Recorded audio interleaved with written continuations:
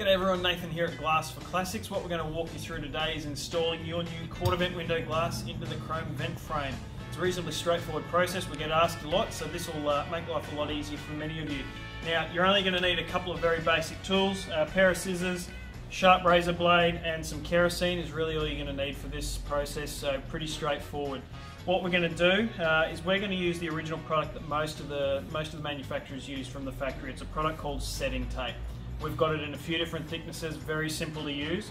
It's basically a butyl-based compound, so eventually it's going to go tacky and it's going to bond to the glass into the frame. What you're going to do, you're going to fold this in half all the way along the entire length, crease it nice and tight, one end to the other. Right, now what we're going to do, we're just going to tape this onto the glass. If you've got some black electrical tape, that's fine. I've got a couple of small bits of uh, just some clear tape here, which will do the job as well. It's just to hold it so you don't need a couple of sets of hands and you can do it on your own. So we'll just go ahead, we'll tape this in place just so that it's not moving on us. Alright, now the next task is going to be in the bottom corner here. If we leave this as it is and you try and force it in, there's too much material just in here. So what we're going to do is we're just going to pleat this in half like so. We're going to grab the scissors and we're just going to cut straight into the bottom corner. You're only going to the point at which the glass is touching it. So you're then going to fold one over and that one over the other one so that they're overlapping. Then with the blade, all you're going to do is you're going to push straight down. Don't scissor it, don't saw it, because you risk scratching the glass. Then we can remove the two bits of waste and you'll have a nice clean join down the center. So we'll flip that over. We'll do the same on the opposite side, like so. Now you're going to leave a little bit down the center here. That has to stay, otherwise your setting tape's going to be in two pieces and it's going to be very hard to work with. So just apply the pressure, remove the excess.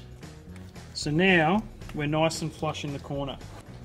Alright, now what we're going to go ahead and do now, we're going to grab our rag, we're just going to wet it down with some kerosene. Now the kerosene is going to do two things. A, it's going to lubricate the setting tape, but it's also going to cause it to tack off over time as well. So we're just going to go and wipe this exposed face so it's nice and shiny all the way along. Making sure we get both sides thoroughly. Don't be afraid to use a fair bit. The, the kerosene evaporates very, very quickly and it doesn't give you a lot of working time. We're just going to go ahead, we're going to push this into the frame. Now it's going to need a fair bit of force to get it in. Now we use toughened glass, so we've got the ability to give this a bit of a bit of a knock with a rubber mallet to get the frame onto the glass. If you're using laminated glass, as many of the American classics do, you do need to be careful because if you thump it like this with the with the laminated glass, you're going to end up with it breaking making sure you measure how far that glass was protruding from the frame before you actually start the job. In our case, this is correct. That's how far it sits out to seal against the front vent window rubber. So what we can now go ahead and do is we can grab our sharp blade. We're going to go ahead and we're just going to trim the excess off. Just cutting nice and neat all the way around. Through here.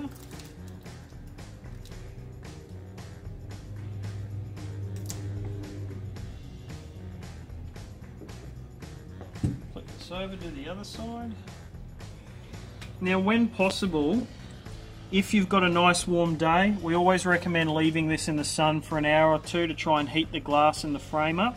It just helps the setting tape tack off a little bit more and bond to the frame and the, uh, and the glass itself.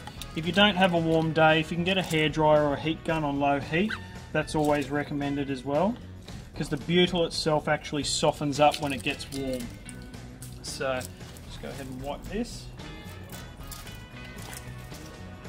Now, all this black from the setting tape and the kerosene, it'll clean off with some simple glass cleaner.